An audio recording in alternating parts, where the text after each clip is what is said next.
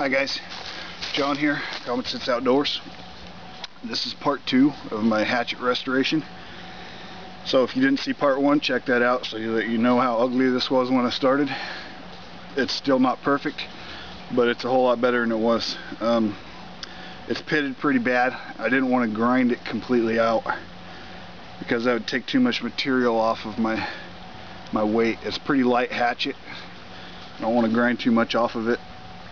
Um, and I've sanded on it. My arm is sore from sanding on it for about an hour and a half.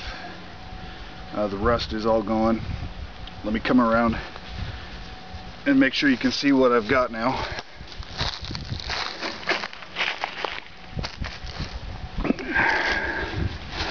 See we put a white background there.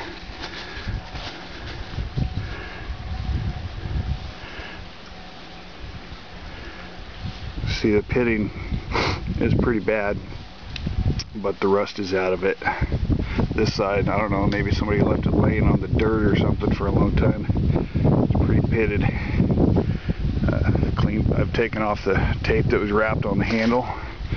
I've drilled a hole right here 1 8 inch hole there and I've drilled a hole there. I think that was 7 30 seconds so that's going to have to do with putting a handle on it. So what I've decided to do, I was going to just paint the handle and leave the head of the hatchet unpainted, but as bad as the pitting is, I'm going to just go ahead and hit the whole thing with paint and see what happens. So let's put some primer on it now.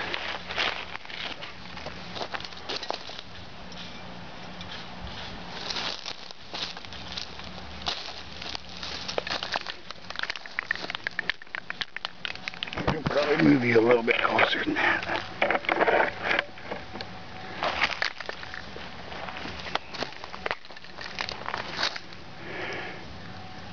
Rust-Oleum primer. Put a coat of this on there. We'll hit it with black after this.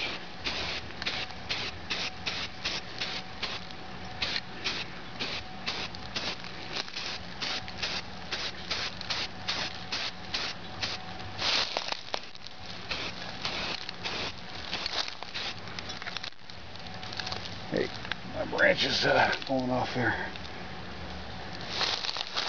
Alright, we gotta grab a different branch before this one falls off. Perfect.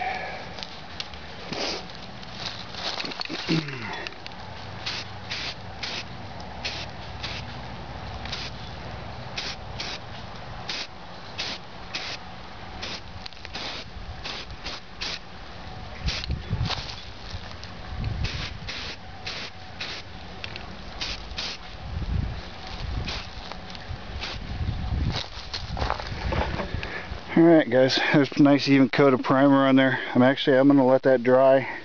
I may hit it one more time with primer. Let it dry. And then I'm going to hit it with black. And then, oh, that branch is too weak too. Slide you up there. Okay, so I'm going to give it a second coat of primer. And then I'm going to hit it with black. And then part three, we'll put a handle on this bad boy. See how she starts looking. So, thanks for watching. Hope you like it. More, more videos coming soon.